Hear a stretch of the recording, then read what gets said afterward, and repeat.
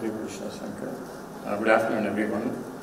Uh, this is my uh, main, the first lecture after lunch. This about the uh, topic is uh, bolts and nuts. My uh, I'm going to talk about an elderly lady, but the other two speakers are going to deal with a much younger person.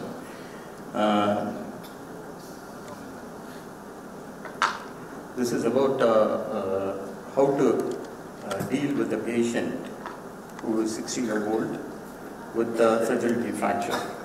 As we all know, osteoporosis uh, is increasing in number due to the increasing age of the population. Even in India, our uh, age, uh, you know, expectancy is going up, and we have a lot of aging population, and they all have, you know, weak bones. As we grow older, our bones become weak. So there is a higher risk of developing uh, fractures. Hip fracture is one of the important causes uh, for uh, morbidity, mortality, and uh, financial burden. Uh, and previously, older people, they fall, they say that they will die. Usually, they won't treat the hip fracture, and the patient dies. But nowadays, there are orthopedic people uh, do a good job. They fix the uh, bone, and the patient mobilizes uh, quickly.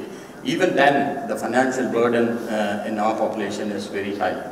So we have to uh, deal with uh, the fragility, of the bone in elderly people. Uh, I just want to go through a, a short history about a patient, 65-year-old lady, uh, who had presented with uh, a different problem, cough with sputum for a few days, and she was arranged to have a chest X-ray which showed clear lung fields, but collapse of uh, lower dorsal and upper lumbar spine. She was referred for further management. So what to do for this patient? We, uh, we have to deal with uh, the investigation and how to manage this patient is going to be my uh, uh, you know uh, talk today. As you could see, there is there is a fracture in the uh, dorsal lower dorsal uh, spine uh, for this patient.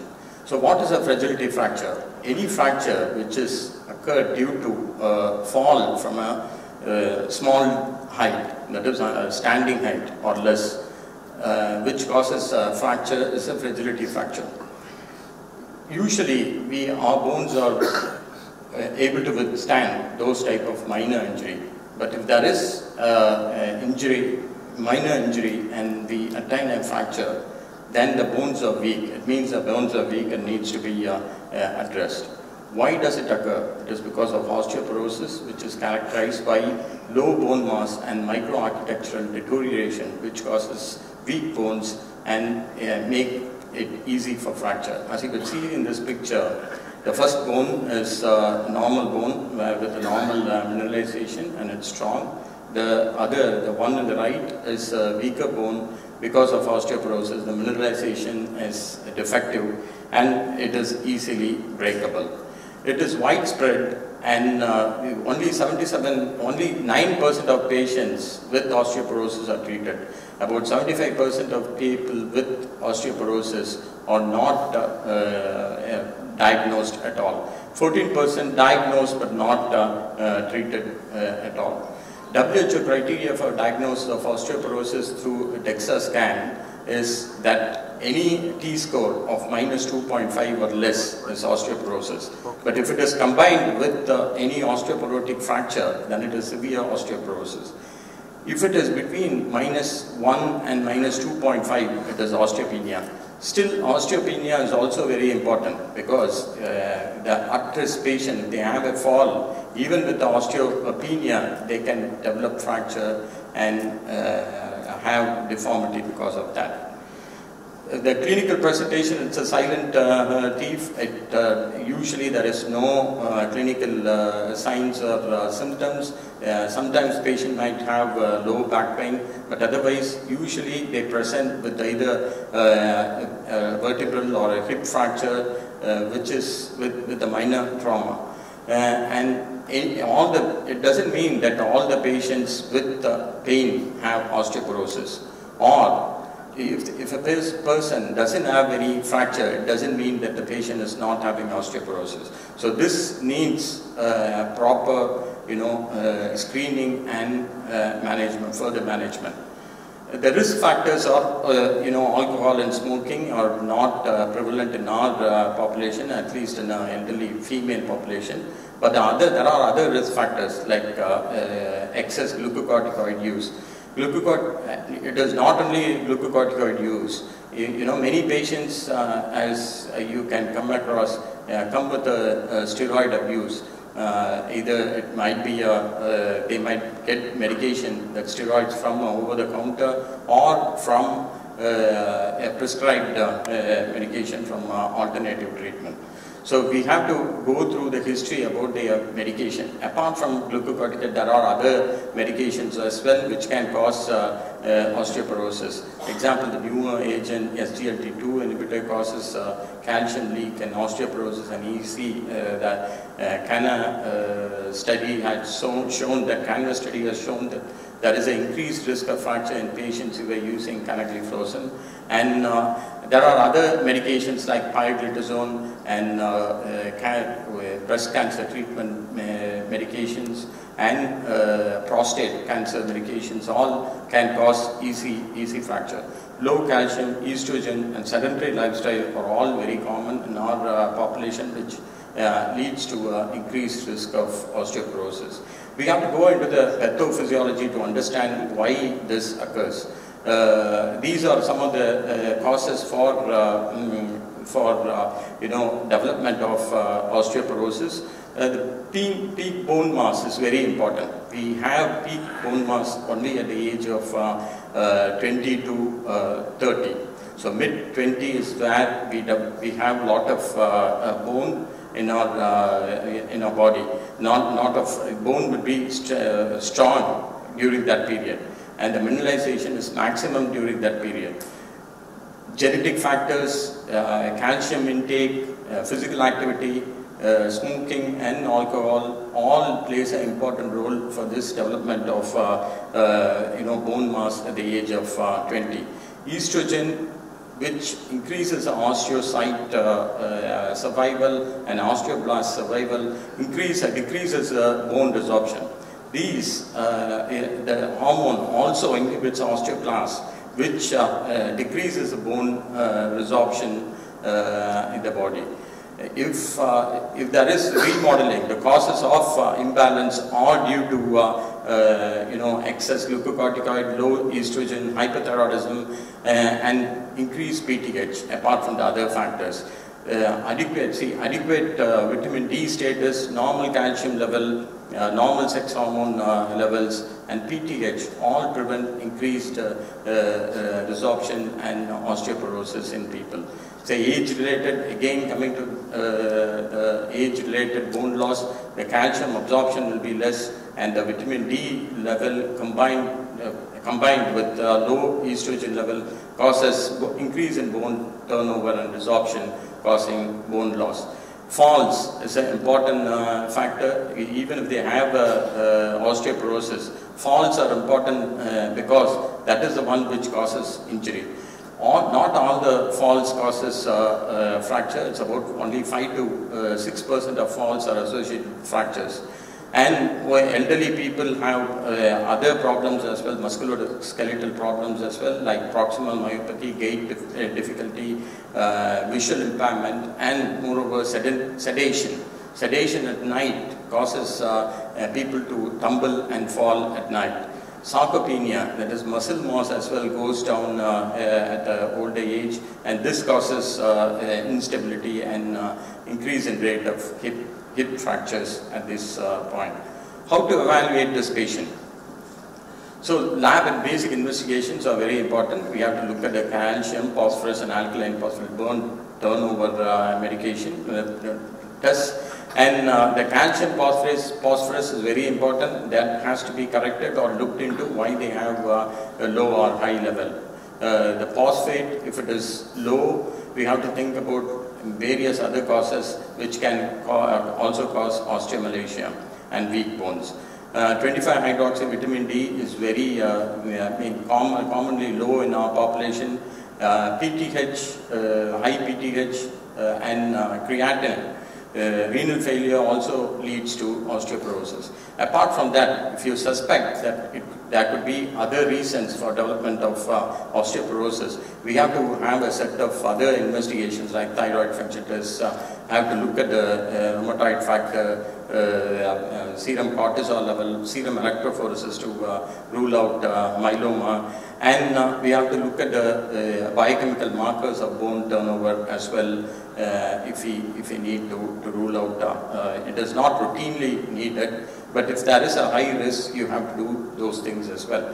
Imaging is gold standard, densitometry, BMD is a gold standard for this. We have to, uh, you know, screen for most of the patients with uh, elderly, which I will go through the guideline uh, in a minute. There are other methods as well where we can uh, look at the uh, bone mineral density in patients. So DEXA scan provides accurate and reproducible values of bone mineral content the, and density and its uh, radiation exposure and scanning time is also a minimal. T-score is uh, the standard deviation from a young adult and the Z-score is uh, the standard deviation values of uh, same age, sex and body size. This is uh, important, Z-score is, we, we look at the T-score usually, but Z-score is important when there is uh, secondary causes of osteoporosis. So the 10-year uh, fracture uh, risk uh, according to T-score is when the T-score goes down and when the age goes up, there is an increased risk of fracture in these patients. So we have to, what the guideline says is, National uh, Osteoporosis Foundation says that all women over the age of 65 has to have a BMD done. men over the age of 70 and younger post, uh, menopausal women and men of uh, 50 to 60 with clinical risk of uh, uh, osteoporosis have to undergo uh, the screening. Apart from that, uh, perimenopausal women with high risk and adults with the condition or medication which will cause low bone mass also have to have BMD test done. Uh, quantitative computer tomography, the CT will give a uh, how strong the trabecular bone is uh, in the presence of osteoarthritis can also be used uh, uh if uh, BMD is not uh, is will not give a good value in selected patients, selective patients. FRAX is a, a fracture uh, risk assessment, uh, which is a Sheffield-based uh, online uh, uh, risk assessment tool which can be used, uh, there is, a, you have to pay a, a, charge for downloading it, but it can be used online as well, which incorporates the few factors which will give a individual's 10-year risk of osteoporotic fracture.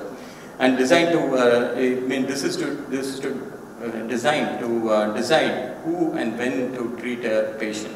So this is how it will uh, look at when you download it. And if the therapy is indicated, the 10-year risk of hip fracture is more than 3% or other major uh, fracture risk is about uh, more than 20%. So this does not apply for postmenopausal women and uh, men less than 50 years of age. Uh, coming to the treatment uh, part, lifestyle modification is the first thing. You know, exercise, uh, you know, you have to avoid uh, smoking and moderation, which is not prevalent in our uh, population, as I mentioned to you. Exercise is very important. Exercise increases uh, the bone mineral density in, by about one percentage. Aerobic weight bearing and resistant exercises also maintains a balance for these patients. Fall prevention is very important. At-risk patient has to have, uh, uh, you know, uh, fall prevention uh, techniques and methods at home as well to prevent osteoporosis complications. Uh, hip protectors also have been uh, found to reduce hip fractures. So nutrition, calcium, there was extensive discussion about uh, calcium replacement in uh, uh, elderly postmenopausal women yesterday uh, by uh, Dr. M.S. Seshadri, who has also uh, shown that it is beneficial to replace calcium in elderly patient, which increases bone mineral density by one percentage and uh, reduces the risk of uh, hip and uh, uh, vertebral fractures. Vitamin D replacement, we are a population where vitamin D deficiency is very prevalent. Uh, about 800 to 1000 international unit replacement is required every day to prevent, uh, uh, you know, uh, hip fractures and non-vertebral fractures as well. So we have to be beware of uh, overdose of vitamin D. So vitamin D is a, a fat-soluble vitamin which can cause toxicity. I, we have few patients who were overdosed with, uh, uh, you know, vitamin D which uh, caused hypercalcemia and renal uh, impairment patients. So we have to uh, look, stick to the guidelines, give vitamin D according to the, uh, you know, patient's need. Uh, coming to the medication, anti-resorptive and uh, anabolic uh, uh, therapies are available. Bisphosphonates are the first line of treatment, especially oral alendronate is the first line treatment. And then if the patient is not uh, able to tolerate uh, uh, oral alendronate because of gastritis, you can have IV zoledronic acid and also the compliance is good with IV zoledronic acid which can be given once yearly. The other things are uh, SERM, uh, that is raloxifene, estrogen, uh, progesterone combination, uh, denosumab, uh, which is a, a uh, uh, monoclonal antibody, calcitonin, these are all the anti-resorptive um, uh, agents available. And teriparatide is a, uh, PTH which is uh, uh, available as uh, anabolic uh, therapy. Bisphosphonates are a group uh, which mimics uh, pyrophosphate which is taken up uh, uh, by the bone uh, through the, as it sticks to the calcium and it prevents uh, resorption of, uh, uh, of the bone by inhibiting the osteoclast. And also it's, uh, uh, it may modulate the inhibitory signals from osteoblasts as well. Uh, it uh, reduces the uh, you know lifespan of uh, osteoclast and these are the, the methods by which uh, uh, bisphosphonates reduces the uh, you know bone resorption in uh, body. Mm, the Horizon trial, which uh, looked into uh, zoledronic acid versus uh, placebo and reducing new fractures and mortality after uh, hip fracture, was uh, a large study involving uh, two, more than 2,000 men and women in 148 uh, uh, clinical centers. Were found to was given zoledronic acid 5 milligram with vitamin D and calcium and they were looked at at 6, 12, and 24 and 36 months and they found that uh, reduced subsequent fracture risk over time of all fractures, any fracture, but the hip fracture risk was not, uh, you know, was not uh, significant. Uh, the, the placebo and the you know, zoledronic acid patients had uh, uh, equal, more or less equal hip fracture, but it reduced other risk, other risk factors and increased BMD and reduced the death in patients as well. The uncommon complication of bisphosphonate is osteonecrosis of jaw and uh, atypical uh, fractures. This are, these are some of the risks. IV zoledronic acid can cause severe asthenia in some of the patients. Uh, and uh, PTH is an anabolic treatment, anabolic agent which uh, increases uh, bone mineral density in uh, both uh, postmenopausal and male uh, uh, osteoporosis patient. It is given as subcutaneous injection, only approved for about uh, two years duration. Uh, the fracture prevention trial, uh, when they use 20 microgram of uh, teriparatide per day, reduced the, the vertebral and non-vertebral risk by about 65% uh, and 53% respectively. The contraindications are, you have to look at the PTH level, uh, definitely for this patient, if they have a high PTH, you should not be using uh, uh, teriparatide. The other uh, contraindication is if the patient is having prior therapy with um, radiation therapy for the bone, Paget's disease, hypercalcemia, and uh, bone mets are all contraindication for teriparatide therapy. Concurrent uh, uh, therapy, teriparatide and alendronate, can they be combined together? There was a small RCT involving 83 uh, patients uh, who had uh, you know, found that spine and femoral neck BMD increased greatest with PTH only group. Uh, so when they when they were combined with alendronate, there was impaired uh, uh, PTH uh, mm, anabolic activity. Uh, so recommended that bisphosphonates are continued after the PTH uh, therapy. So simultaneous use of bisphosphonate with other agents are not uh, indicated. Denosumab is a costly medication, it's a monoclonal antibody against uh, RANKL, inhibits osteoclast, and uh, the FREEDOM trial showed that uh, it is better than alendronate in improving the osteoporosis and fracture in uh, uh, patients. It also increases the BMD in these patients. Uh, another few minutes, please, two minutes. Uh, BMD again is a there was a paper recently which showed that the BMD gain BMD gain is reversed when the uh, denosumab was stopped. So when you start on this medication, actually you have to uh, uh, counsel about long term. It is a costly uh, affair. It is given 60 milligrams uh, uh, twice uh, a year. So calcitonin is another agent which, is available as a nasal spray and the risk of you know fracture were less in five years were reduced by 33 percent. Uh, but this is not being used and it's been banned in other countries more uh, because of a risk of uh, uh, cancer. Uh, other than that, it can cause nasal irritation, nausea, and local inflammation and flushing. Estrogen and HRT are not recommended now and it's usually uh, used for postmenopausal symptoms alone. and increased risk of, uh, because they have an increased risk of uh, cardiovascular events, venous uh, thromboembolism and breast uh, CA. So for these reasons, it is used only for uh, postmenopausal symptoms for shorter duration. Evaluating the patient, the BMD has to be repeated one to two years, every one to two years uh, while on therapy. Uh, you have to step up therapy if the patient had not attained desired, desired BMD over a period of time. So you have to ensure the compliance and uh, we have to re-evaluate for secondary causes if uh, no improvement. Uh, biochemical uh, markers for bone turnover, especially bone-specific alkaline phosphatase and other uh, chemicals were also available, which can be done, which is not routinely uh, uh, done in patients with osteoporosis. About stopping uh, therapy, there is no real guidelines, but uh, discontinuation usually done over five after five years. There is uh, the risk of uh, you know reduced BMD after discontinuing alendronate after five years, but uh, there is no risk, increased risk of fracture when for about five years period after stopping alendronate. And patients uh, uh, with a very high risk of fracture, we can continue uh, therapy. So uh, the myth is, I'm, I'm too young to worry about osteoporosis. Not true. Uh, osteoporosis can occur at any age. Starting early is very important. Regular weight bearing exercise, avoiding smoking and alcohol uh, prevents uh, osteoporosis. And uh, I would like to end with the uh, summary that osteoporosis is common.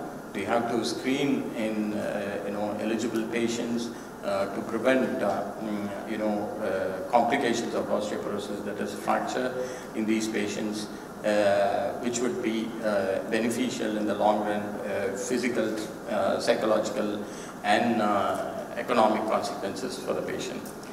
Stay active, stay fit, and uh, we will prevent uh, osteoporosis. Thank you.